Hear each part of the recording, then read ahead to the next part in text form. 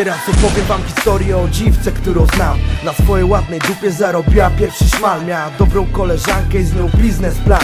Wyjechać do burdelu mając po 15 lat Poznały dobrego kolegę, co je sprzedał za hajs. Przedtem dobrze przeruchał i nauczył ćpać. Po trzech miesiącach psiarnia zrobiła na bajzel gwiazd. Zwinęła interes, cały biznes padł Dziwki zostały bez grosza za granicą, a ja Wróciły do Polski, dalej kopsały szpar. W obok to robiły i tak każdy je znał. Dzisiaj robią to za darmo, bo nikt nie chce ich pchać. Są gorszymi szmatami niż te sprzed paru lat. Jak komuś tak dobrze, to niech dotyka dna Bo pieniądze nie płaczą, a ty dziwko płacz.